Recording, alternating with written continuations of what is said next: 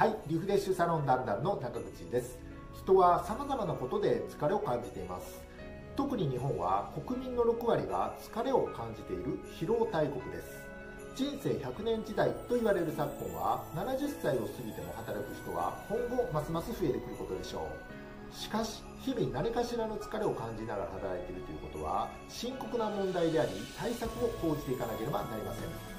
今回は疲れにくい体づくり習慣によって人生100年時代を生き抜くための健康寿命を伸ばすのに効果的な運動をご紹介させていただきます。適切な運動をすることによって慢性的な疲労原因でもある疲労物質を血流によって流すことができるので疲労の解消が期待できますまた体の疲れを感じるのは脳にある自律神経の中枢が疲労困憊しているからだと言われています。筋肉の緊張は自律神経の乱れを引き起こす要因なので筋肉の緊張と硬さを取り自律神経を整えていくことも大事です。運動を日常に取り入れて疲れにくい体を手に入れ健康寿命を伸ばしていきましょう。それでは今回は体の中心のコアマッスルに効く運動と基礎代謝を上げる運動と寝る前にできる姿勢肩こり改善ストレッチをご紹介します。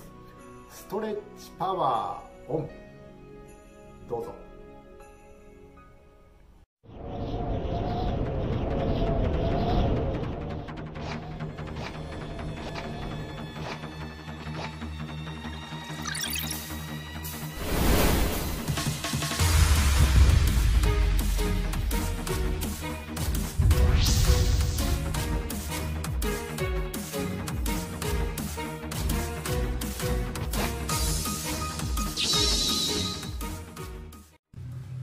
足バランス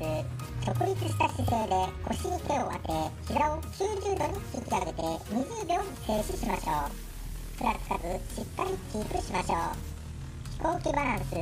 曲げた足をまっすぐ後ろに伸ばして上半身を前に倒し10秒静止しましょ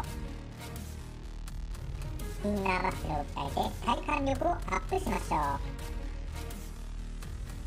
左右どちらかに体が傾かないように足を後ろにまっすぐ伸ばしましょう Touch to Toes 足を肩幅より広めに開き両手は肩の高さで左右にしっかり伸ばします息を吐きながら右手で左の足首に触れ息を吸いながらゆっくり戻ります。反対も同様に。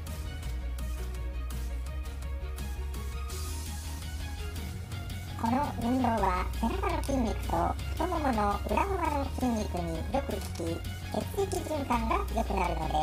全身の基礎代謝を上げる効果があります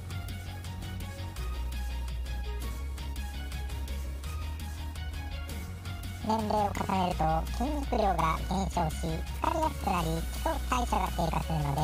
基礎代謝を上げる習慣を持ちましょう。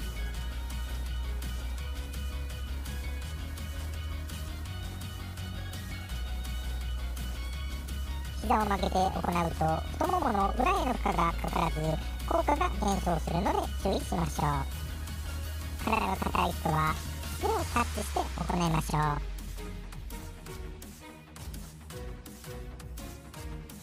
両足を前後に開き両手を組んで手のひらを突き出すように胸の前に伸ばし組んだ手のひらを天井に向けてまっすぐ高く伸ばします。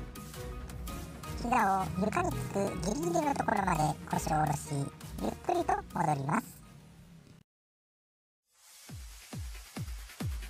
足腰を鍛えて疲れにくい体になるだけでなく姿勢改善にもつながります。ポイント背中を丸めないように背筋を伸ばして行うと運動効果がより高まります。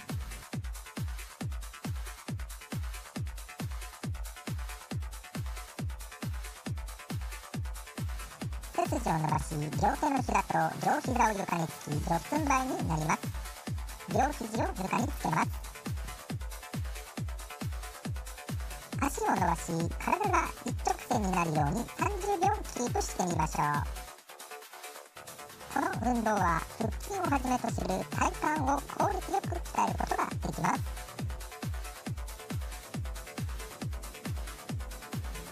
腰が上がりすぎてたり背中が反ったりすると腰を痛める原因になるので注意しましょう横向きに寝て両腕は胸の前にまっすぐ伸ばし息を吐きながら胸を開くように上げ後ろ側の床につけます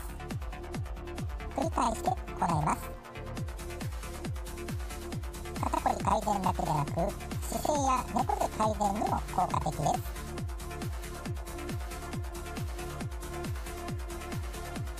寝る前にベッドの上で行うのもおす。すめです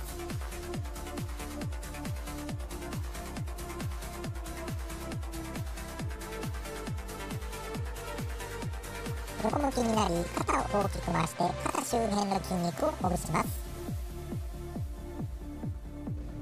肘の先を上に向かってゆっくり上げるのがポイントです。肩が痛くなる前に普段から肩周りの筋肉を緩めましょう。自宅のリビングでくつろいでいる時などに行ってみてください。日常生活に運動を取り入れて疲れにくい体を手に入れましょう。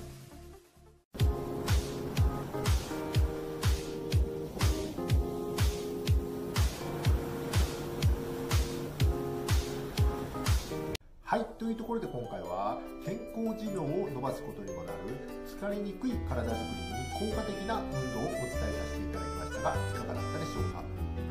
疲れは体が発する SOS です。たかが疲労されど疲労。疲労が蓄積すると体にさまざまな弊害が起きてきます。疲れてしまう原因は日々の生活環境にあります。ちょっとした工夫を暮らしの中に取り入れて健康寿命を伸ばし70歳80歳を過ぎてもいつまでも元気で医療機関には無縁の健康な体を手に入れましょう健康な体で暮らすというのはひいては医療費の削減になり基礎的財政収支の黒字化にもつながっていくのではないでしょうか。日頃から体を動かし運動を行う習慣を身につけ疲れにくい体を手に入れて健康寿命を伸ばしていきましょう。というところで今回は以上となります。このような動画をこれからも作っていくので応援していただける方はチャンネル登録高評価ボタン前向きなコメントをよろしくお願いいたします。本日も最後までご視聴いただきありがとうございました。それではさようなら。